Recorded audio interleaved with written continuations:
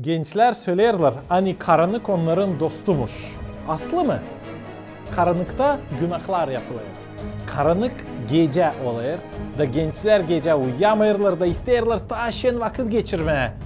Şimdi hadi düşünelim hadi bakalım var mı bize fayda karanlıktan? Karanlık fayda getirir mi gençler? Yoksa ta pek zarar mı yapıyor onlara? Sevgili dostlar, Biblia'da yazılan karanlık o şeytanın zamanıymış. Hani karanlıkta günahlar yapıyor. Hani cehennemde her zaman karanlıkmış. Ama İsus Hristos, Allah, şaf, kutsallık, ayozluk, o aydınlık, o güneş, o gün, o şafk.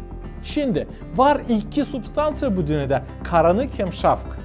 Var cehennem hem var cennet ray. Var şeytan hem var Allah. Neyi sen ayıracaksın? Neyi sen ayıracaksın?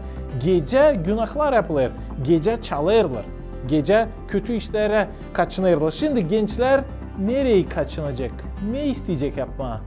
İyiliği mi yoksa kötülüğü mü?